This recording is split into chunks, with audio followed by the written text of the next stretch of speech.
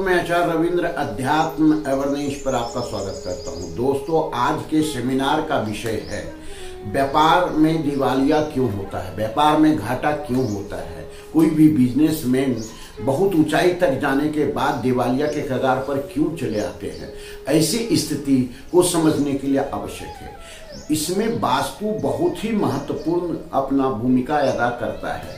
जैसे आप ये समझिए कि अगर वास्तु के दोष आपके घर में, व्यापार में, ऑफ़िस में, सभी जगह को देखना आवश्यक होता है और यहाँ पर है तो निश्चित रूप से आप लाख कोशिश कर ले, आपका व्यापार घाटे में चला जाता है।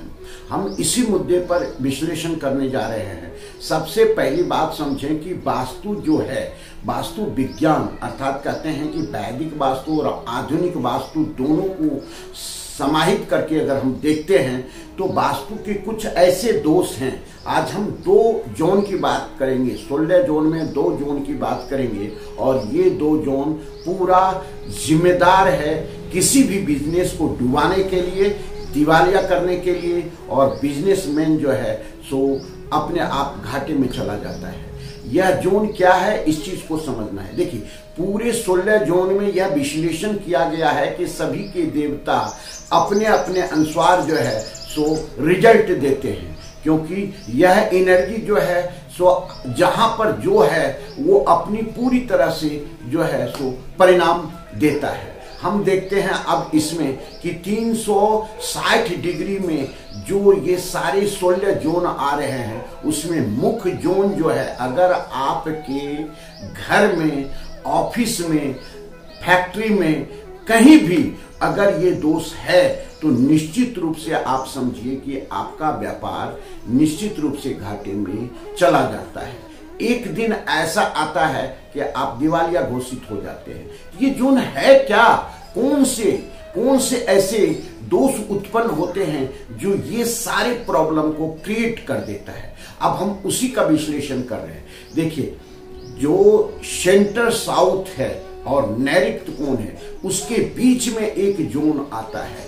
यह जोन जो है, सो आपको 190 डिग्री के बाद शुरू होता है और यह जो है, यह जो है 215 डिग्री तक चला जाता है। तो अर्थात ये जो क्षेत्र 22 साढ़े बाईस डिग्री का है, बहुत ही परिणाम देने में, इस प्रकार के परिणाम देने में काफ़ी अहमियत रखता है। इस जोन को कहते हैं एस एस डब्ल्यू का क्षेत्र। अर्थात ये जो क्षेत्र है, दक्षिण दक्षिण, पश्चिम का कोना, पश्चिम का क्षेत्र। इसको हम कहते हैं जो सोलह जोन है, उसमें एनर्जी के आधार से कहते हैं ये डिस्पोजल का जोन है डिस्पोजल का क्षेत्र है। डिस्पोजल का मतलब डिस्ट्रॉय हो जाना। तो ऐसी स्थिति में ये जोन में हम क्या रख लेते हैं, क्या करते हैं, ऐसी क्या गलती हो जाती है, जिसका इतना बड़ा खमियाजा हमें भोगना पड़ता है। इस चीज़ को समझे। अगर आप पहले आप जहाँ पर निवास करते हैं, उस चीज़ को लें। अगर आपका बेडरूम ऐसे क्षेत्र में है अर्थात जो घर का मुखिया है या बिज़नेस का मालिक है ऑनर है, अगर वो इस क्षेत्र में सो रहा है, उसका बेडरूम इस जो है, सो बेड जो बना हुआ है, इसी क्षेत्र में है तो निश्चित रूप से इतने घातक परिणाम ये देता है। इसमें कोई दो मत नहीं है। एक तो ये स्थिति होगी। अगर मान रखिए कि आप पूरा आपका बना हुआ है नैरिक्त कोण में, लेकिन आप जहाँ सो रहे हैं, आपका सिर जो है सो सर जो है, सो इस क्षेत्र में आ रहा है तो भी ये परिणाम देगा। तो इससे ये चीज़ को बचना आवश्यक है। इसका परिणाम, इसके साथ उपाय को समझते जाए। क्या आप अपने बेडरूम के जो बिस्तर है, आपके सोने का स्थान है, इसको तत्काल आप चेंज कर दें। दूसरा, कोई इसका वास्तु से ट्रीटमेंट नहीं है। जब तक घर का मुखिया उस स्थान पर सोएगा तो निश्चित रूप से ये रिज़ल्ट आते रहेगा। अब दूसरे पॉइंट पर आते हैं कि यह जो जोन है एस एस डब्ल्यू का, इसमें अगर बिज़नेस का, घर का या जो भी इंपॉर्टेंस डॉक्यूमेंट्स रखा हुआ है तो भी ये डिस्पोजल हो जाएगा। क्योंकि ये डिस्पोजल का क्षेत्र है, बहुत बारीकी से समझें और डिस्पोजल के का अर्थ ही होता है, कार्य ही होता है, काम ही होता है कि सबको डिस्पोज कर देना। तो जब भी आप इस क्षेत्र में अपने डॉक्यूमेंट्स के रखते हैं इंपॉर्टेंट डॉक्यूमेंट्स चाहे वो फैक्ट्री का हो, व्यापार का हो बिज़नेस का हो, घर का हो, जो भी इंपॉर्टेंट डॉक्यूमेंट्स अगर भूल बस अगर यहाँ रख रहे हैं तो तत्काल इसका ट्रीटमेंट है कि वहाँ से हटा करके दूसरे जगह पर रखें। तीसरी बात है कि अगर यहाँ पर आपने अपने लॉकर को रख दिया है अर्थात ये समझिए कि जो भी नकदी, पैसा, कौड़ी या जेवर जो भी है, आप इस जगह पर रख रहे हैं तो कितनों बड़े बिजनेसमैन आप अगर हैं, आपकी अच्छी चल रही है, सारे चीज़ फैक्ट्री इत्यादि बिज़नेस इत्यादि तो ये एक दिन ऐसी स्थिति में आपको ला करके खड़ा कर देगा कि सब चीज़ आपका बिक जाएगा और आप जो है, सो दिवालिया घोषित हो सकते हैं। तो ये सारे तीन चीज़ को जो हम बता रहे हैं, तीन चार चीज़, कि ना तो यहाँ पर सोना, नहीं कोई इंपॉर्टेंट डॉक्यूमेंट्स रखना, नहीं या तो आप जो है सो यहाँ किसी प्रकार रुपया पैसा रखना। अब देखिए, कुछ वास्तु शास्त्री इस पर बहुत जो है सो अच्छा वर्क करते हैं, लेकिन उनकी जानकारी उतनी जो है सो इस क्षेत्र पर डेवलप नहीं रहता है। तो क्या करते हैं कि नैरिक्त कोण में आपको बैठा देते हैं।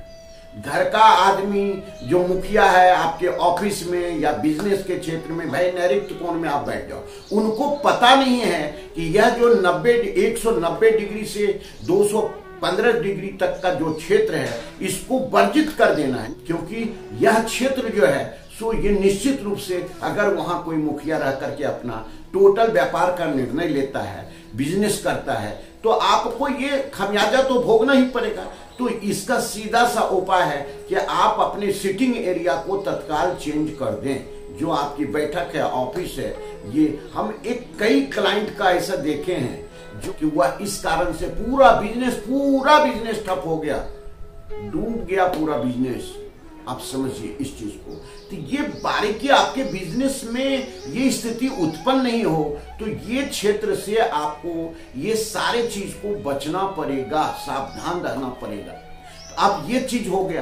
अब हम आते हैं कि दूसरा, दूसरे क्षेत्र का बात करते हैं, जिसको कहते हैं ईस्ट ईस्ट साउथ का क्षेत्र, जिसको पूर्व पूर्व, दक्षिण का क्षेत्र कहते हैं। तो यह जो क्षेत्र है, इससे आपको अपनी जो सिटिंग है मेन सिटिंग जो है, इसको हटाना पड़ेगा।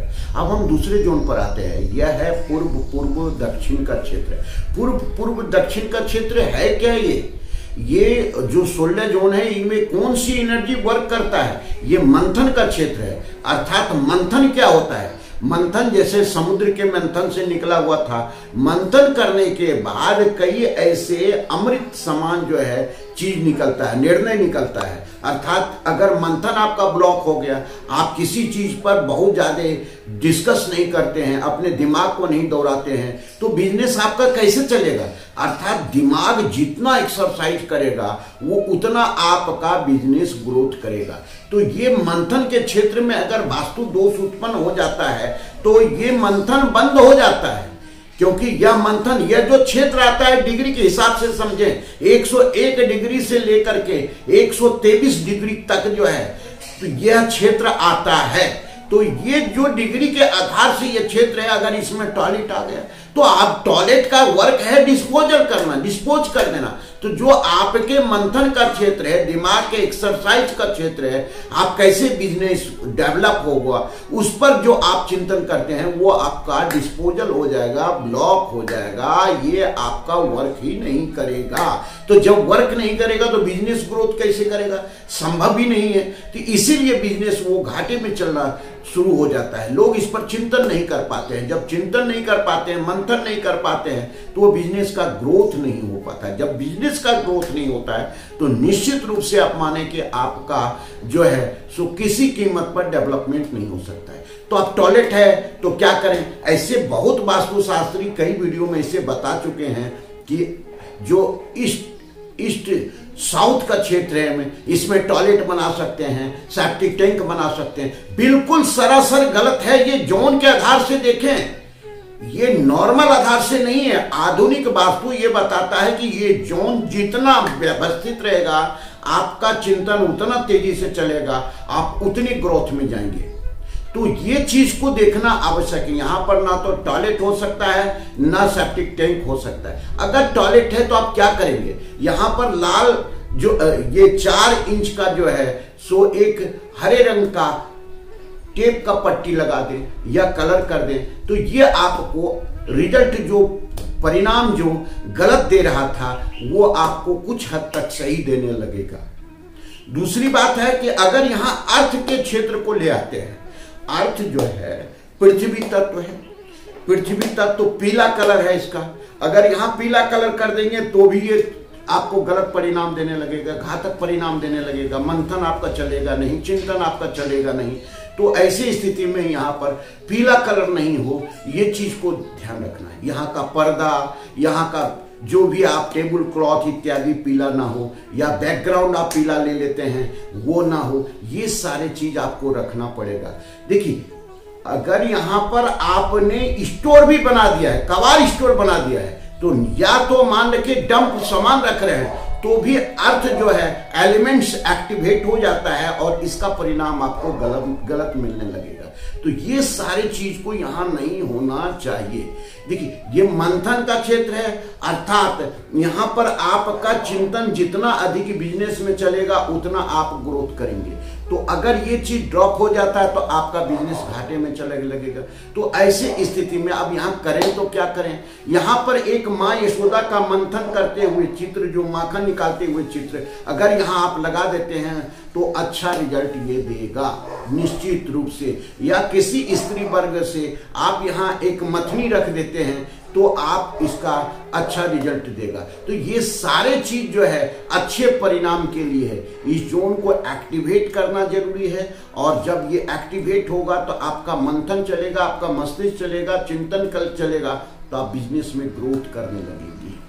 तो ये सारी चीज़ जो है, ये दोष के कारण आप बिज़नेस आपका डूबने लगता है, आप दिवालिया के कगार पर पहुँच जाते हैं, आपको पता नहीं और इसका घातक परिणाम आपको मिलने लगता है। ठीक है, नमस्कार। फिर मिलते हैं अगले वीडियो में। यह उन बिजनेसमैन के लिए है जो अपना बिज़नेस बड़े लेवल पर कर रहे हैं, लेकिन उनको नॉलेज नहीं है और बिज़नेस घाटे में चलने जाता है। तो चला जाता है तो ऐसी स्थिति में बिज़नेस घाटे में नहीं जाए। आपको ये, आपको जो है सो ट्रीटमेंट करवाना ही पड़ेगा किसी वास्तु शास्त्र के द्वारा। आपको अगर लगता है तो आप कमेंट पर आकर पूछेंगे तो मैं बिल्कुल आप, बिल्कुल आपको इसका जो है सो सही सही उपाय बताएँगे। अब देखिए, केवल घर के वास्तु से भी सही नहीं होगा, क्योंकि आप मुखिया हैं, घर में रहते हैं, समय बिताते हैं, वो भी वास्तु आपको इफ़ेक्ट करेगा। आप फैक्ट्री में रहते हैं, वह भी आपको वास्तु इफ़ेक्ट करेगा। आप बिज़नेस ऑफ़िस में रहते हैं, कॉर्पोरेट ऑफ़िस में रहते हैं, वो भी आपको इफ़ेक्ट करेगा। आप जो है, जहाँ व्यापार करने जाते हैं, डीलिंग करने जाते हैं तो अगर आपके पास नॉलेज हो जाए तो इस मुख करके आप ना बैठे तो आपको ये रिज़ल्ट जो सही है, वो मिलने लगेगा। तो ये सारी ट्रीटमेंट है, सावधानियाँ हैं। जिसको आप जीवन में अपना करके काफ़ी लाभ ले सकते हैं। धन्यवाद, फिर मिलते हैं अगले वीडियो में। नमस्कार।